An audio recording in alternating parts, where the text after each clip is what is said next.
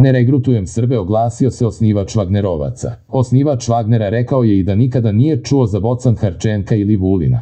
Ruska paravojna grupa Wagner negirala je da regrutuje građane Srbije za borbu u Ukrajini dan nakon što su aktivisti u Beogradu podneli krivične prijave protiv te organizacije. Među osobama navedenima u krivičnim prijavama su ruski ambasador u Srbiji Aleksandar Bocan Harčenko i Aleksandar Vulin, direktor Državne bezbednosno informativne agencije Srbije,